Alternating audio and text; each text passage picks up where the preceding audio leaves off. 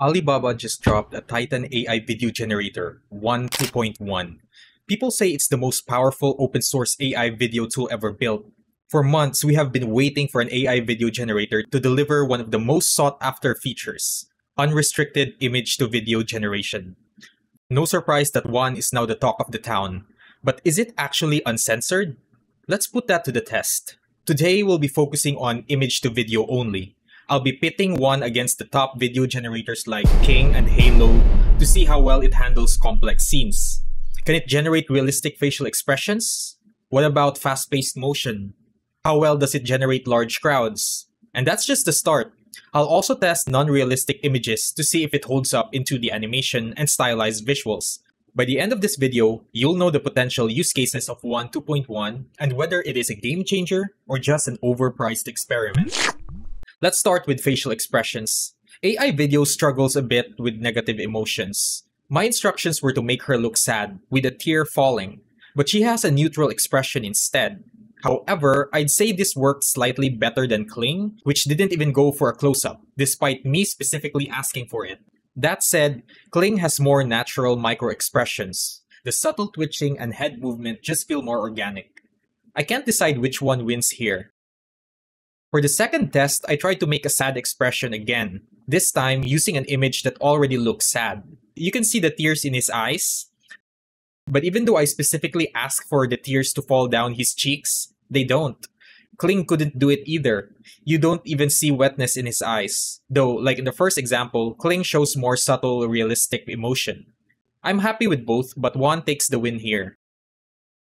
This test proves video generators can handle joy way better than sadness. Both follow the prompt spectacularly, though in the Wan video, the apple moves weirdly, like magic is carrying it to her hand. Kling's movement isn't perfect either, but the facial expression feels more genuine. One thing I noticed, Wan stays more faithful to the original color settings. The Kling video looks darker, with more contrast, this is a common flaw for Kling, by the way. Personally, I don't mind. It gives the video that cinematic flavor, but it's something to consider, especially if you need strict style consistency. I made my prompts more descriptive for better results.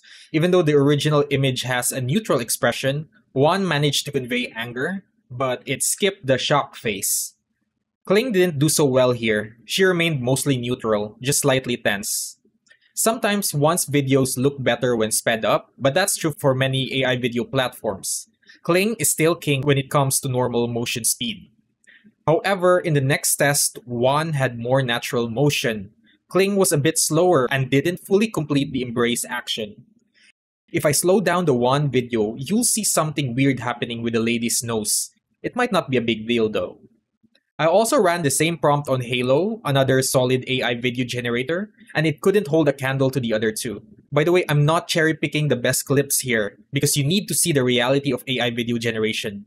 No matter how good your prompts are, these models consistently fall short in some way, and it's important to know exactly where they struggle. Crowd dynamics don't seem to be Wan's strongest suit. People are barely moving when they should be walking.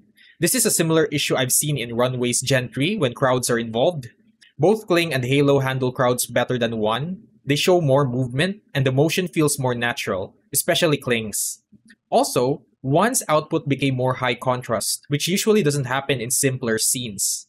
Now, for a more subtle crowd test, when animating a United Nations assembly, a weird diffused light popped up in the first generation, so I had to regenerate it. While the second attempt was noticeably better, very few people are actually moving, which makes the scene feel unnatural. Hate to be repetitive, but this is peak Runway Gen 3 behavior. And on top of that, Kling handled this much better. Almost every figure in the conference room has some level of movement, even if subtle, making it far more realistic. So if crowd scenes are a priority, Wan would not be my first choice. But let's see how well it can handle other complex motions. I wanted to see if Wan could pull off a 3D parallax effect for a free fall scene, but the first generation had weird morphing mid-clip, the second attempt was much better, but the hands got all morphed up. That said, the motion itself is decent. You can see a subtle camera tilt near the end as the subject nears the street below. Kling produced a sharper quality video, but the fall felt too linear to be natural. Both clips have a lot of morphing in the road below, and they both look better sped up. I also tested dancing motions, but neither Wan nor Kling did too well. To be fair, most AI video generators struggle with dancing. Wan had less morphing, but the movement felt too slow. Kling's had more fluidity, but also this weird front becomes back distortion. Testing fighting movements proved that Kling is still far superior for dynamic motion. Wan's version had too much morphing on the staff, making the clip unusable for any professional project. Kling, on the other hand, produced an okay striking motion. I mean, can you call that a strike? A little bit. Also, a little bit like mere posturing. This is hands down one of my favorite AI generated photos of all time. I originally animated it using Kling a while back.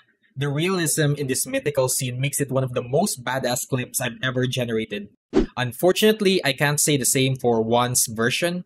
Don't get me wrong, it's not bad, but you can see the jittering in the Sphinx belly area, and the overall sharpness doesn't hold up to Kling's. The side by side shows a staggering difference. I also tested how well Wan performs in non live action styles, starting with this Studio Ghibli inspired anime clip. Hailuo usually shines in 2D animation, but Wan surprisingly held its own. The farmer moves a bit more, though it's irregular and choppy at times. Wan's plant motion looks more realistic, but Kling delivered the most impressive results. Not only are the farmer's movements smoother, but the animation flows more naturally overall. The only distortion I noticed was in the thumb, but everything else looks fantastic. That said, this still isn't quite Studio Ghibli quality, but we're getting close by the day.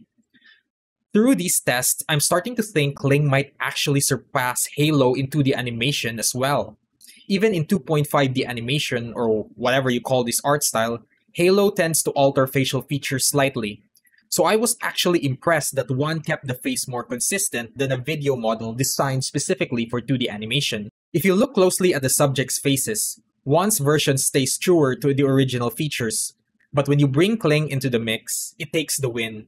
Kling has a level of crispness and sharpness that the other two just can't match. Though in this case, Wan's motion feels slightly more realistic.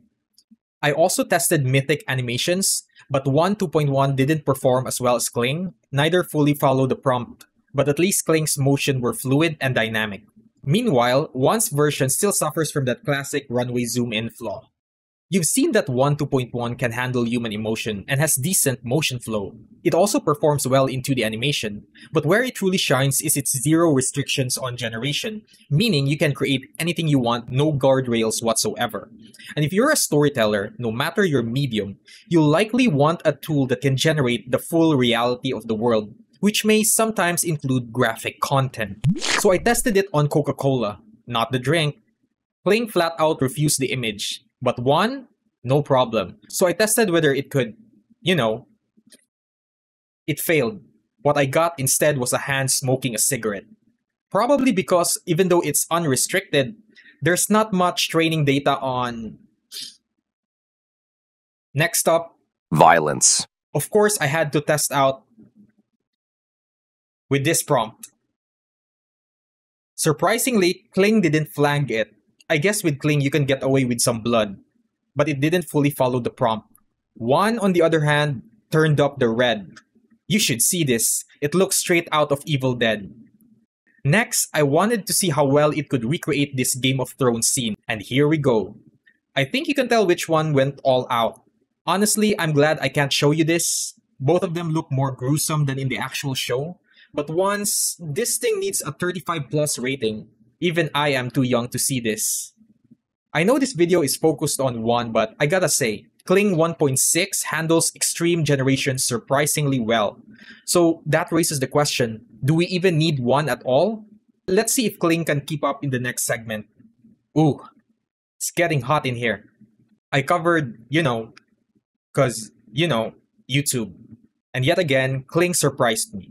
It actually generated this suggestive clip, but both animated realistic facial expressions, but trust me, Kling did better overall. I was almost convinced Wan couldn't do anything Kling couldn't do better until I started using hardcore references, and I watched Kling reject them one after another. Turns out, Kling will accept anything except D rugs and anatomy. But Wan, it generates anything. No image has ever been rejected. Doesn't matter what I type in the text prompt either, everything goes through. I tested so many graphic generations in different art styles too. It has given me mind blowing, stiffy inducing animations that I unfortunately cannot show you here. Wan costs 40 cents per 5 second clip, making it one of the most, if not the most, expensive AI video generators by a large margin. Which brings me to the conclusion that it's just not worth it. Not when we have more cost effective options like Kling that deliver superior quality in most ways. Sure, it has some restrictions, but as you've seen today, Kling handles a lot of graphic content just fine. And so does Hailuo. At this point, the only real reason to use Wan is if you're making corn. You know what I mean. That's the only way you could even begin to justify the cost. If you still want to give it a shot, I've left a link in the description so you can try Wan on fal.ai. Oh, and by the way, every clip in this video except Kling's has been upscaled to 2K and had its frame rate boosted to match Kling's native 1080p. If you want to know how to do that for free, I've got a tutorial linked in the description or maybe on the end screen. That's it for today. See you next time. Bye.